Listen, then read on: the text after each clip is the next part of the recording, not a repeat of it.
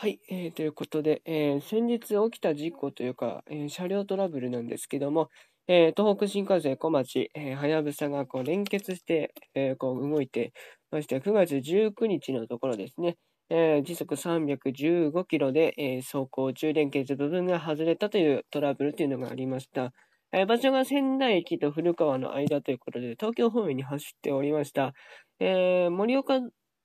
のあ駅で、えー、まあ、連結っていうのは、えー、無事行われまして、えー、しっかり、えその、あの、確認もね、えしてたかと思うんですけども、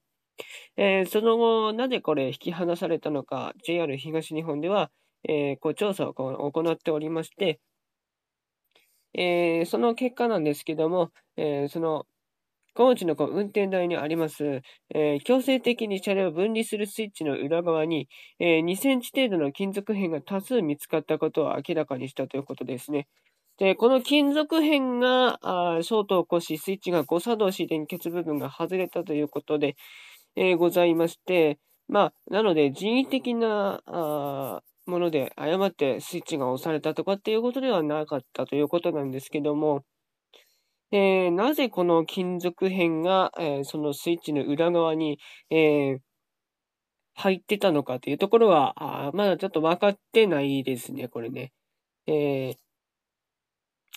これがなぜ外れたの、なぜ入ったのかというところなんですけどもね、そこがちょっとね、今回はね、えそこがミソになるのかなとは思いますけども、え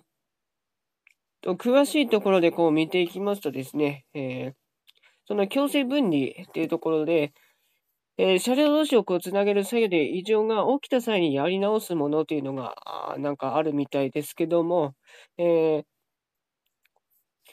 新車、えー、新車製造時にドリ、え、パネルをドリルで、え、取り付けた際の削りくずと見られるということなんですね。